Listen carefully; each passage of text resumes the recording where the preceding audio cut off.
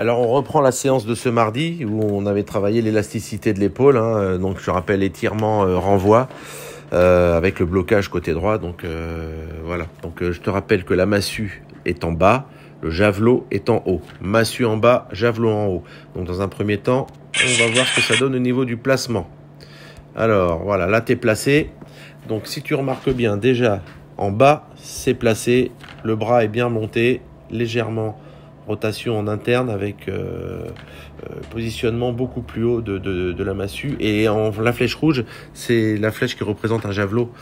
Voilà, en haut, regarde, le coude y tombe. Le coude y tombe et la pointe du javelot donc est orientée parallèlement au tronc. Euh, sauf que il faudrait que fermer un petit peu plus l'angle de la pointe. Voilà. Ensuite, là, tu vas recommencer le redressement ça part par le buste qui remonte et regarde bien euh, ton bras droit, le bras qui va servir de blocage. Il commence à tirer et à bloquer. Qu'est-ce qui se passe dans ce moment-là? Ça provoque un étirement euh, de la poitrine et éventuellement de l'épaule également. Alors du coup, cet étirement, qui va être maximal dans, dans la vidéo suivante, va provoquer après un renvoi au moment du blocage. Euh, ton coude, il est bien placé avec la massue, il tombe avec le javelot. Voilà. Moment du blocage. Alors, on regarde l'image du bas. L'image du bas, c'est la massue. Ton bras droit, il bloque. Du coup, ça provoque l'étirement complet euh, au niveau de la poitrine et notamment, comme je le dis, du sternum et renvoi de l'épaule gauche.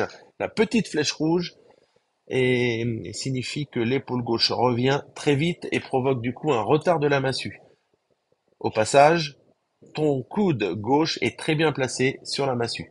Si on regarde la photo du haut, bah, tu vois bien qu'à ce moment-là, il y a un léger, bon, il y a un léger petit décalage, mais de toute façon, tu es en train de tirer sur le coude, et on suppose qu'il y aura moins d'étirement. Tu vois, il y a moins d'étirement et tu as le buste en arrière. Si on regarde la photo du haut. La photo du bas, on arrive euh, presque au moment de, euh, du blocage à droite complet. Là, ça revient très fort. Il y a un retard du, du bras gauche. Hein. On voit le coude, le coude gauche avec la massue qui est très haut. Le coude gauche de la massue est bien placé.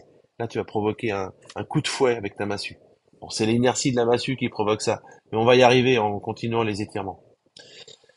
Voilà, donc là c'est le point haut, le point haut hein, qui a été provoqué, je rappelle encore une fois, par cette sensation d'élasticité hein, provoquée par euh, l'étirement tu as provoqué avec le blocage. Donc n'oublie pas, blocage, étirement, et du coup le côté élastique permet le renvoi de l'engin. Donc là c'est la massue qui est très bien placée, le point haut est très haut et ton tronc est bien penché vers l'avant, puisque euh, c'est une fois que le tronc arrive en bout de course qu'il faut provoquer le renvoi de l'engin, en l'occurrence la massue en bas, le javelot en haut.